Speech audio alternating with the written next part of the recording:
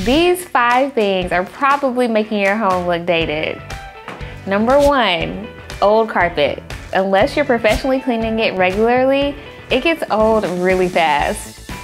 Number two, ceiling fans in every room. Although purposeful, they give all the retirement home vibes. Number three, textured ceilings. Need I say more?